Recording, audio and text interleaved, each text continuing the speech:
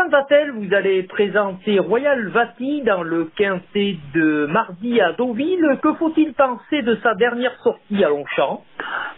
Évidemment, elle n'est pas très encourageante. Euh, le cheval a pris une grosse surcharge euh, suite à sa victoire à Deauville et je l'ai représenté euh, sur une surface qu'il aime moins. Les choses sont plus compliquées et, et, en même temps, il y a le fait que c'est un cheval qui a un certain âge et dès qu'on lui présente quelque chose qui lui plaît moins, ben là, on, on a un cheval qui a rendu les armes assez rapidement. Donc là, il va se retrouver dans son élément cette fois-ci. Hein oui, il est. Moi, je trouve très bien à l'entraînement. Il va se, se, retrouver dans son élément.